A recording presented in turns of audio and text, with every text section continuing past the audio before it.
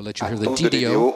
Attention pour le décompte final. He will call out the final countdown. We'll be back after Arian has cleared the 10, tower. 9, 8, 7, 6, 5, 4, 3, 2, 1, top.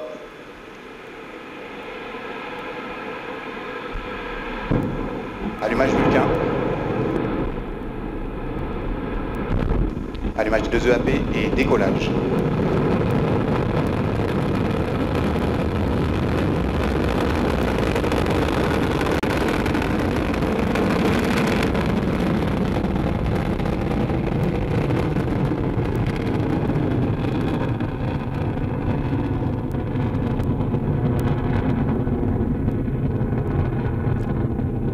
La propulsion est nominale, tous les paramètres à bord sont nominaux.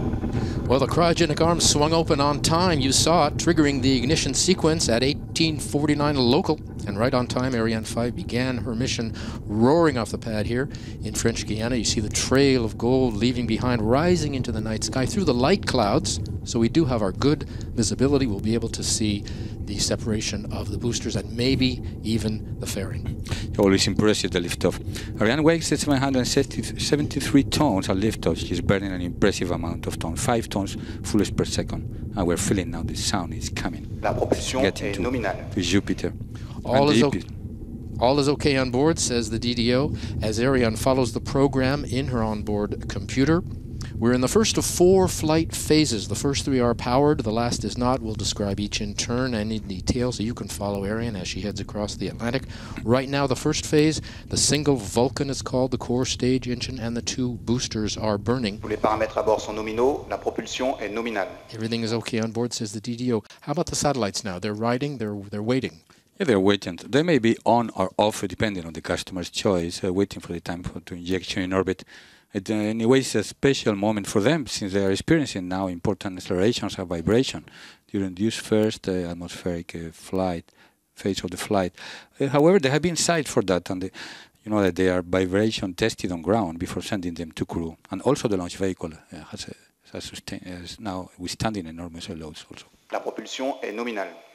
The boosters will burn for another five or six seconds, and you'll hear the DDO call out that milestone. Then they will be extinguished and separated. And there, that looks like the flame out of the boosters right there. You'll see them fall away. Séparation des étages d'accélération There we are. Two points of light on either side falling away. The the yellow dot in the middle, that's the uh, core stage. That's Ariane continuing to burn. On either side, the boosters going to fall about 500 kilometers away from shore. Now, how are they separated? Well, they have on board a pyrotechnical cutting system, and it separates it from the launcher, and a small rocket for for distancing them for avoiding collision. Now, the separation orders are given by the onboard computer, which is part of your uh, your duties. Exactly. That's the case. Before the boosters are empty of their fuel, their push diminishes, and the onboard computer La we've been talking about senses this drop in acceleration and decides to separate them. We're coming up on separation of the fairing, but before we do, take a look on the left of your screen, Jesus, and give us a rundown. On the upper left is the cursor crawling up the curve. What is that? Yes, it's a computer simulation of the trajectory. So now, uh, and we can see the dash point, which is now the real trajectory. We are Séparation now 114 kilometers, 2.3 kilometers per second. We've had separation of the fairing. You can see there's one half you can see, the other half is out of camera range on uh, the other side.